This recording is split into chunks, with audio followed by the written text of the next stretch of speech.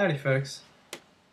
So originally this video was going to be about the enemy system and we'll do a quick preview of that but I got sidetracked onto another system which I'll talk about which is the event responding system.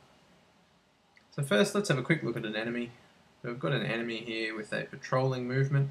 You can see his patrol is outlined with these red lines. Uh, he has health and various controls for his movement. He also has a stomp on head component, which means when you jump on his head, he'll take damage. So let's uh, have a look at that in action.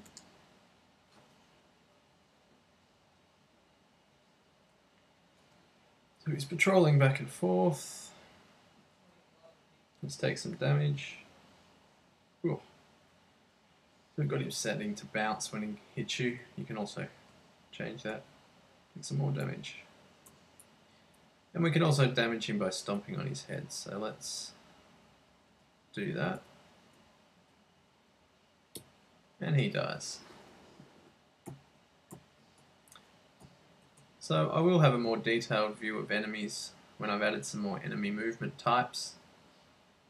But I also wanted to take a look at another system that I've added today, which is the event responding system. So the basic idea is there's a lot of events such as characters taking damage, enemies taking damage, things moving and starting up, like a lift starting up, etc. etc. And you often want to respond to these things. So what I've created is this generic response system. So if we grab one of these event responders and stick it on here, we first have to pick what object we're interested in. So let's use the character as our example. And then it'll pick up all the components on the character. So for example, if we go to character health, it then picks up all the events that are thrown by the character health object. So let's say when we get the damaged event, we want to do something.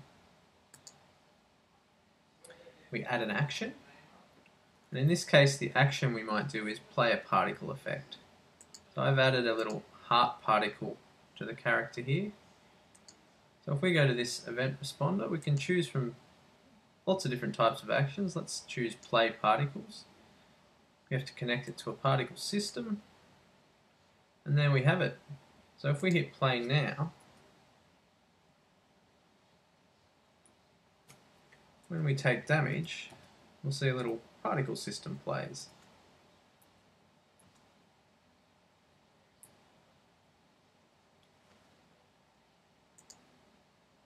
And we can do that for other events as well. So let's duplicate the event responder. This time let's respond to death. And we'll play an audio source. So I've just got a very simple noise here. I'm not sure if you'll be able to hear it with my recording volume or not. Hopefully you can. Let's try it out. So when the character dies, we're going to play audio.